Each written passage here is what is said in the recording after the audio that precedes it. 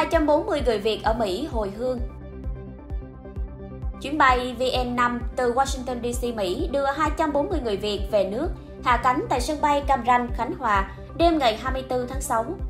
Đây là chuyến bay đầu tiên của các hãng hàng không Việt Nam đưa công dân từ Mỹ về nước, được nhà chức trách hàng không Mỹ cấp phép trong năm 2021.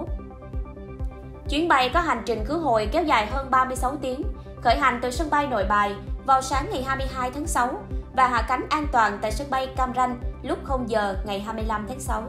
Hãng bố trí tổ bay gần 30 người, gấp đôi so với chuyến bay thường lệ đến châu Âu để đảm bảo sức khỏe cho tổ bay. Chuyến bay áp dụng các biện pháp phòng chống dịch cấp độ 4, mức cao nhất trong hệ thống tiêu chuẩn an toàn COVID-19 của hãng để hạn chế tối đa nguy cơ lây nhiễm. Thành viên tổ bay và hành khách đều được kiểm tra thân nhiệt trước khi lên tàu bay, mặc đồ bảo hộ, hạn chế tiếp xúc trong hành trình và cách ly tập trung khi trở về Việt Nam. Đầu tháng 6, Vietnam Airlines đã xin cấp phép 12 chuyến bay đến Mỹ trong năm 2021 để đón công dân Việt Nam về nước. Công tác xin cấp phép bay của nhà chức trách Mỹ là khâu phức tạp nhất, mất 2,5 tháng để hoàn thành. Năm 2020, hãng đã thực hiện hơn 20 chuyến bay giữa Việt Nam và Mỹ.